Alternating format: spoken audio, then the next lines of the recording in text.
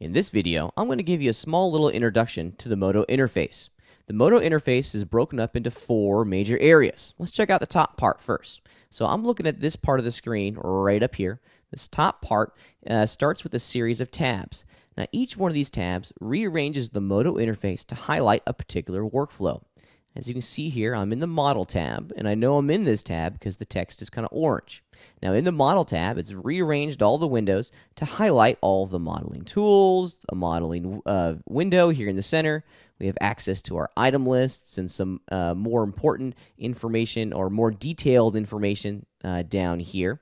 But if we change these tabs up here at the top and change our layouts, it's going to change the interface to highlight this particular workflow.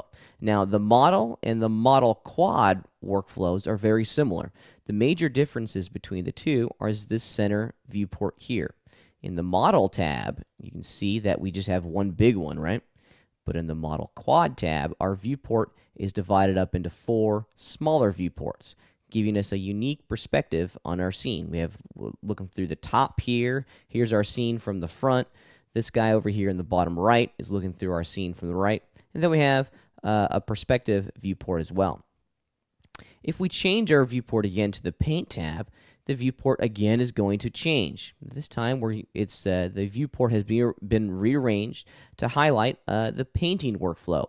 All our modeling tools are gone, and they have been replaced with all the sculpting and painting tools. The viewport looks a little bit different, so we can start to paint with it. We have an image bin down here and a cool little color picker, and, and we, we still have access to our items and our shader tree, but you know this paint tab has been rearranged to highlight the painting workflow, and that's kind of the underlying theme between all these tabs, is that they're broken into workflows. We also have a UV tab, which highlights the UV editing so we can do our texture mapping. We'll get into that a little bit later. Uh, you probably already noticed that our, our, sculpting tools are now gone, and now they've been replaced with all of the UV mapping and texturing tools. We have a layout tab up here at the top, which allows us to leverage an asset library, uh, a collection of objects that we can enter into the scene. We have our animation tab, and I bet you can imagine what we're going to do in the animation tab, which this is where we're going to find all of our animation tools. Our our layout tabs our layout tools have been replaced with all the animation specific tools and we've also gained a timeline and some range sliders and some options that are specific to the animation workflow. If we jump over to the render tab, this is where we're going to start to see how our scene is going to be rendered uh, so we have a little preview window here, which is giving us an interactive preview of the final render. And I say interactive because if I rotate my viewport around, you can see that we're going to get a somewhat kind of live update to our scene. Um, you've probably noticed that when I move this viewport, this viewport over here also changes. Well, this viewport is dedicated to looking through the camera, and I know we're looking through the camera because at the top left-hand corner of every viewport, this little icon here shows us which perspective we're looking through. This bottom portion is a general perspective viewport, which is going to give us a, a nice uh, a nice uh, look at our entire 3D scene. This one's different from the others because it's showing us the lights, icons for our lights, icons for our camera. So all the tools in the Render tab really support the rendering workflow. And that's the common theme between all of these tabs. They're just broken into workflows. Let's jump back over to the Model tab and let's continue to explore the other three major sections of the Modo interface. Now, I've already talked about this this column a little bit. You've seen me kind of poke around in it as I explored the different tabs. But this portion of the interface in every single one of these tabs is dedicated to our tools. So as you can see here, I'm in the Model tab, and now these are all the modeling tools. And there's a number of them. One other common UI uh, uh, theme in Modo are these vertical tabs. You're going to see them everywhere. And these vertical tabs, again, are collections of tools. Um, so here we are in the basic tools, and we have all of our basic modeling tools. But if we change and click on these other tools, you can see that we Modo has a whole bunch of modeling tools, but they're all broken up into, sp into specific categories. So we have duplication tools, deforming tools, vertex editing tools. So these vertical tabs here are collections of individual tools to help out the modeling workflow. Let's go back to the basic tab and I'm going to fire off the cube tool. This left-hand column here is broken into two major sections. We've been looking at the top, but I want you to look at this look at the bottom. This part of the interface is broken up into two areas and is divided by this line. And if we move our cursor over that line, you can see that we can move it up and down. Now, when we activate any tool inside of Modo, that tool's options are going to become visible down here. And I know I'm using the cube tool because in the tool options, it's always going to tell me which tool I'm using right here, right here. So it says cube, so I know I'm making a cube. And you can see here, here's all the individual options for the cube tool. Let's drop that tool and go over to, ooh, let's, I don't know, let's go over to the Mesh Edit tab and click on the Slice tool. And again, you can see that our slice tools now have some individual options, and those options come in down here.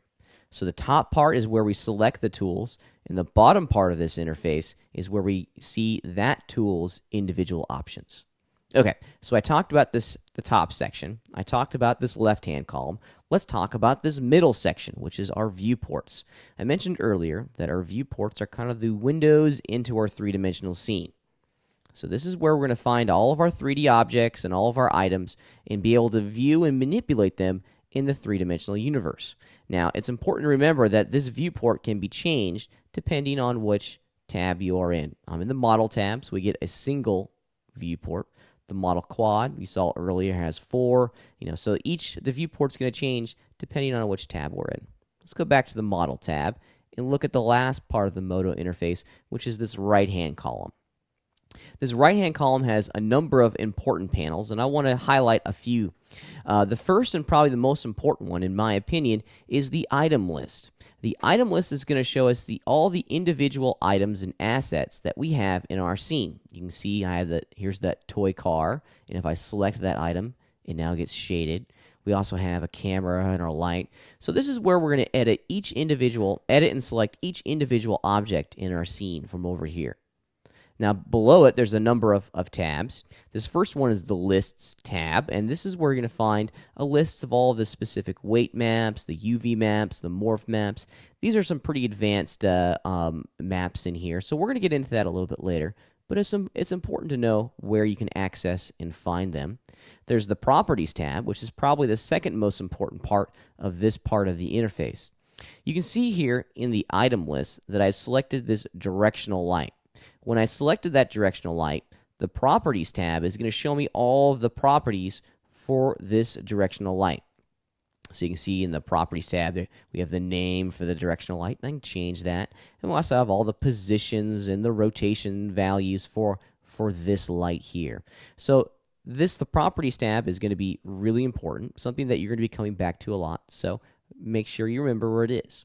These other these other two uh, tabs, the channels tab and the display tabs, these these include individual channels and elements for a number of selected items. We're going to get into these a little bit later, but just know where they are for now. Let's go back over to the lists tab because the list tab also includes two other areas that I want to bring to your attention.